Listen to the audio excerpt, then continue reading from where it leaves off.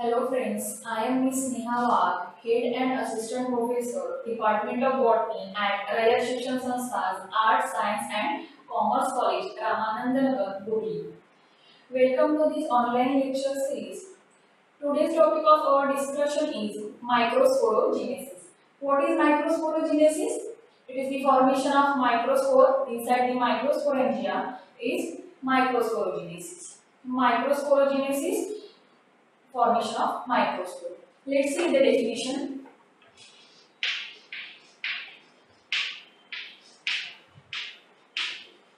Formation of microspore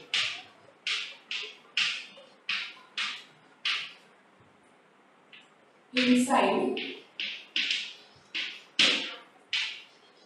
microsporangia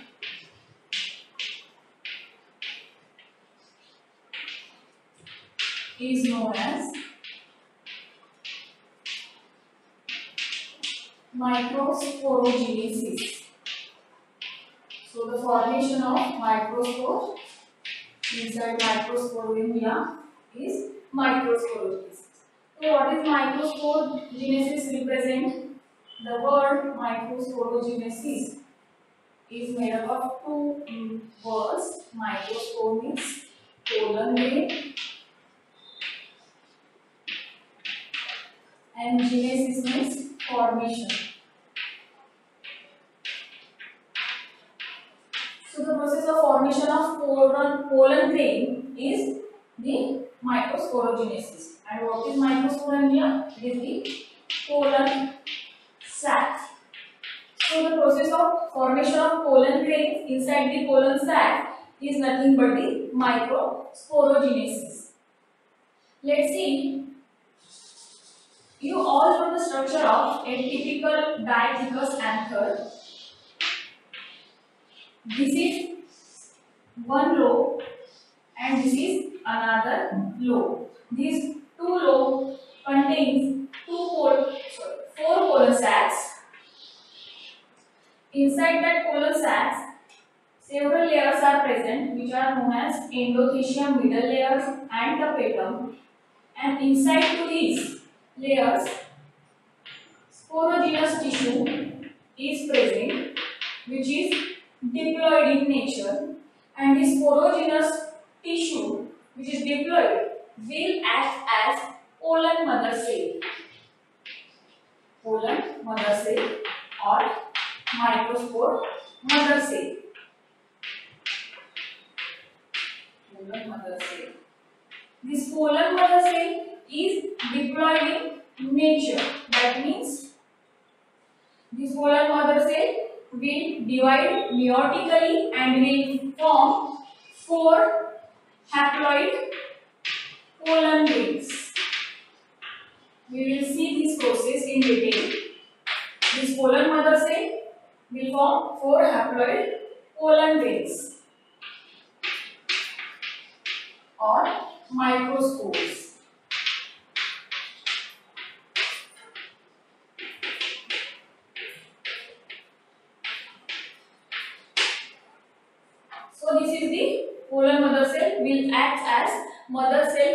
Pollen grains. Let's begin how this pollen mother cell will form and will give rise to pollen grains. Suppose this is anther. This anther is differentiated into epidermis that is outer layer of anther and archisporia which actually give rise to pollen mother cell. This archisporium is divided into two tissue that is parietal tissue and sporogenous tissue.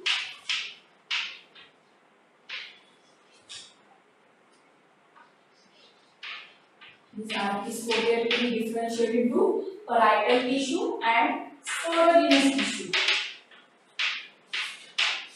This parietal tissue will form layers of the microsporangium. This will divided into three layers. That is endothecium, middle layer,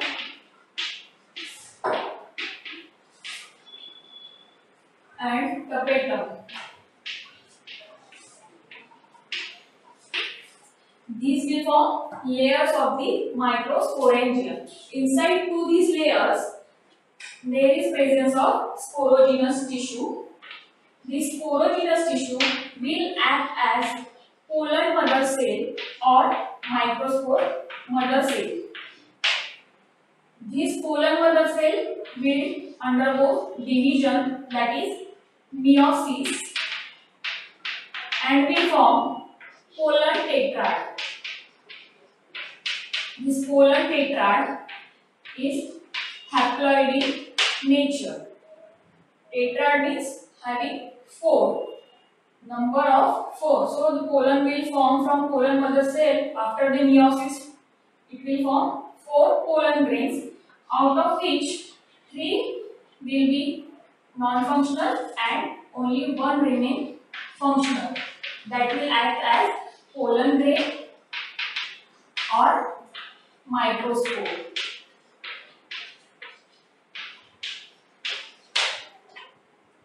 So see, anther is differentiated into two layers, epidermis and archisporium. Epidermis is outer layer and this archisporium will actually give rise to the pollen grain or microscope. So this archisporium is differentiated into two tissue, parietal tissue and sporogenous tissue.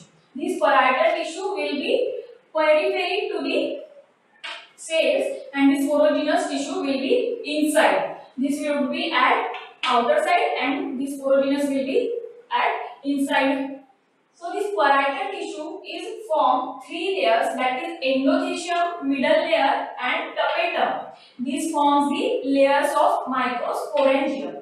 Inside to these three layers there is presence of sporogenous tissue out of which some cells act as pollen mother cell which gives rise to pollen. So this pollen mother cell undergoes meiosis division and it will form four pollen tetrad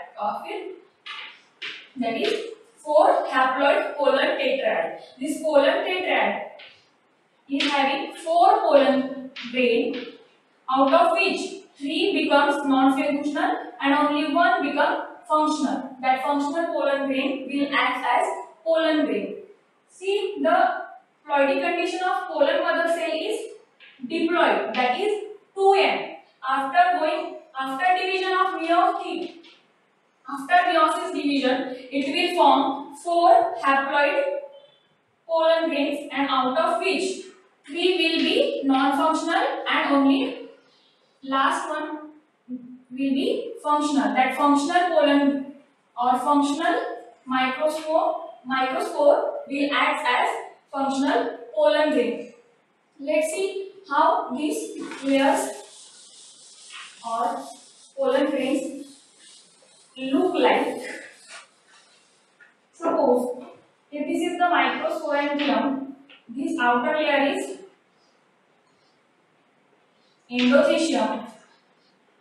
This is 2 to 3 cell layer is middle layer.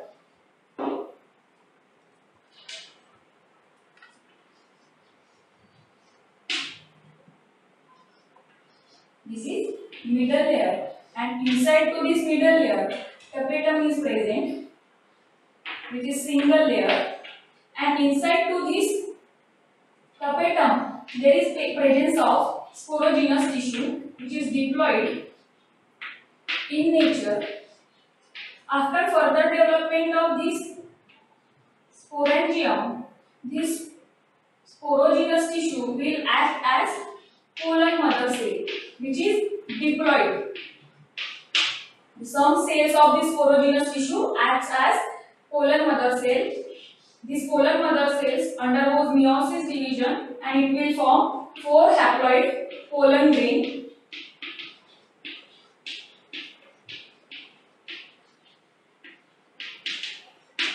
and out of these four pollen, three will be non-functional and only one will be act as functional pollen grain. That pollen grain is nothing but our microspore. And this is the structure of microsporangium. This is the endothecium. This is middle layer and this is tapetum. Inside to this, some tissue is present that is known as sporogenous tissue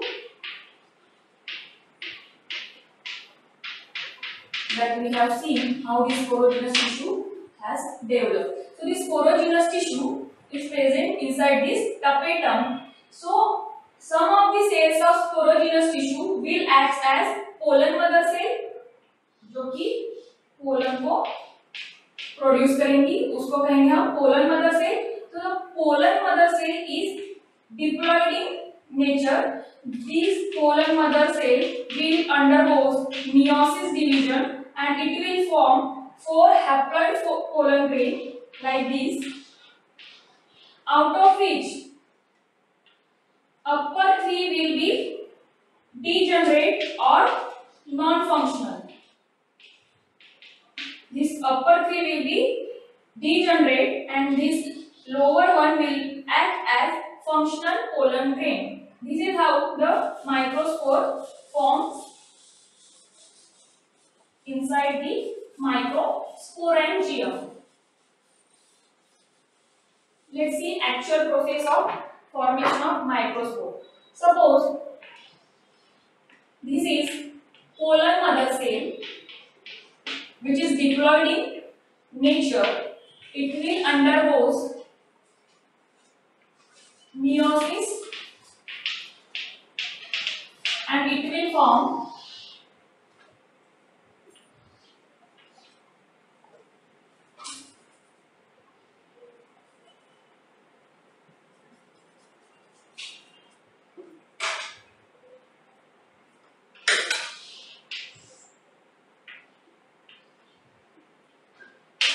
dyad. It will form dyad. Again, it will go under second meiosis.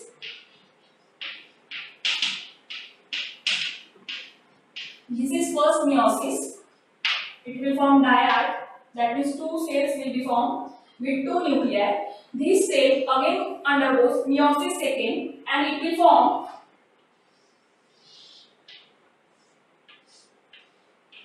four nuclei. This four nuclei is nothing but tetrad of haploid microspore. Microspore or pollen grain.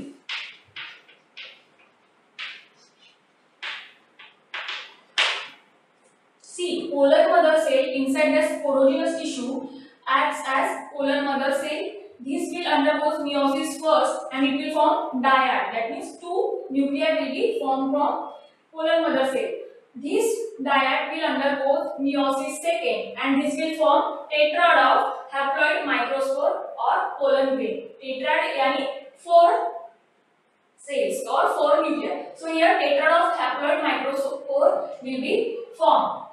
After this, this four tetrad of pollen grain will be separate.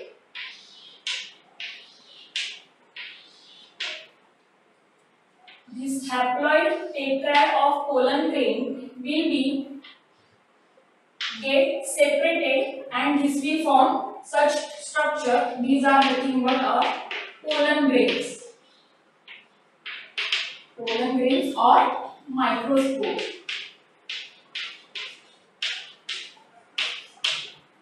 Let's see how the mature pollen grain look like. Suppose this is the structure of pollen grain, a mature pollen grain. it will consist of two layer that is outer one is exine and inner one is intine.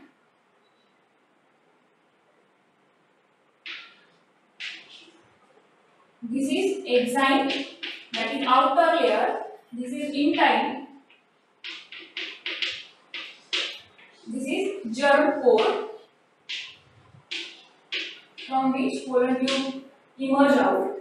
So we are looking for the mature structure of pollen grains. These contain two nuclei that is generative nuclei